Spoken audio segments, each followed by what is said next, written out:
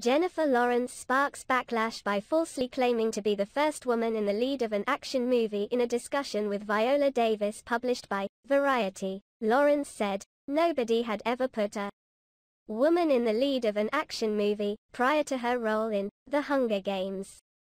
Jennifer Lawrence is sparking backlash after falsely claiming to be the first woman in the lead of an action movie. Lawrence made the comments in a nearly 45-minute sit-down discussion with fellow actress and producer Viola Davis, published by Variety, in which they discussed acting, inequities within the industry and motherhood, among other topics. In the discussion, Lawrence, 32, said of the significance of her role playing protagonist Katniss Everdeen in The Hunger Games.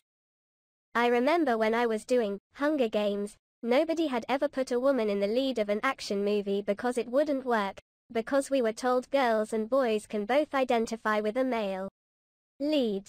But boys cannot identify with a female lead, she told Davis. Lawrence went on to say, It just makes me so happy every single time I see a movie come out that just blows through every one of those beliefs. And proves that it is just a lie to keep certain people out of the movies. Critics on social media quickly pounced on Lawrence's comments, noting that several other women have starred as leads in action films, including Sigourney Weaver in the Alien films, Angelina Jolie in Salt and Tomb Raider, Uma Thurman in Kill Bill Volume 1 and Kill Bill Volume 2, and Michelle Yeoh in several films, including Super Cop, Magnificent Warriors, and Yes. Madam. Variety appeared to delete a tweet it had posted promoting Lawrence's comments after several Twitter users noted the inaccuracy of her statement.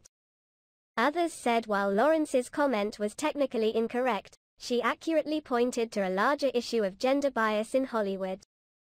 It is untrue that no one had ever put a woman in an action movie before Jennifer Lawrence in Hunger Games, Franklin Leonard.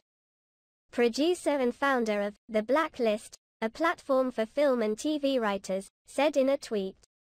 It is absolutely true that Hollywood had and has a real bias against women driven action movies because of this ridiculous belief about who identifies with whom.